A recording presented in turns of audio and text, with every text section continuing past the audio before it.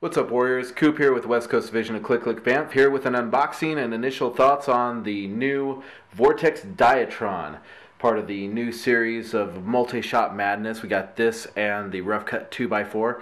So let's go ahead and uh, pop this box open and see what's inside. Okay, this looks like it's pretty much like the big brother to the, uh, the Vigilon. And it comes with the orange and white discs instead of the regular green ones.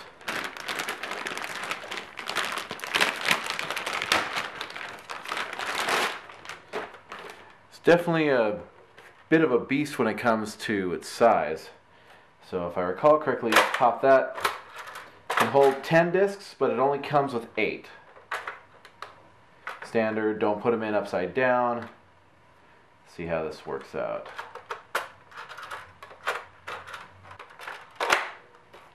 So something a little different for this one, and I kind of like it, is the fact that instead of a regular pullback lever, it's an arm.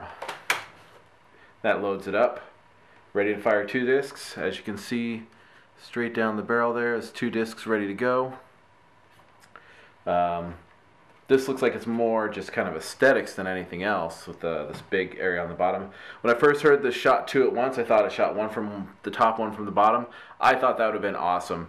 But, you know, still shooting two discs is cool either way. Let's see, disc eject switch, that is right there if you have to. Um, looks like it's available to open up the, the mechanics from either side. Can take a stock, which is good. So let's go ahead and see how this works. Alright, so I'm outside in my backyard. Uh, I've got the wall behind me. It's pretty much going to function for testing to see how well this shoots. Uh, I'm only going to shoot off a couple shots of this just to see if there's any spread or whatnot. We'll get more information for you when we do a full review on this. I know I guys, I know guys, I still promised you that Strife review. It's coming. A Hailfire is supposed to come. I've been slacking. It's my fault, and um, no one's to blame but me. So let's go ahead and get this done. And we got a rough cut unboxing next week. I'll have that for you guys.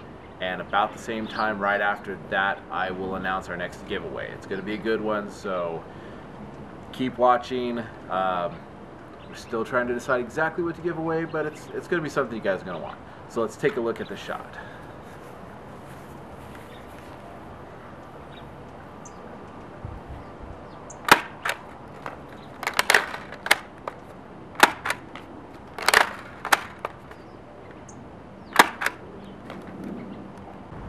So as you can see from the shots, you know, not the best in the world, but we'll have to get some data testing to see what your average range is going to be. And this was right out of the box, so it might take a couple of shots to kind of loosen it up, get it ready to go, so you get like those average ranges.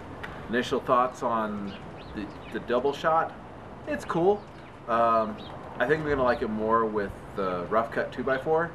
So we'll see how that goes, and, and we'll see, I'll load up alternating uh, orange and greens when I do the data on this and we'll see if there's any uh, difference in top disc versus bottom disc for firing.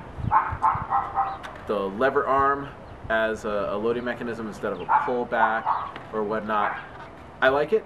I think it's cool and um, it's definitely different. So the size doesn't really bother me at all. It's uh, it's really comfortable. Uh, I don't think there's going to be much of a weight issue.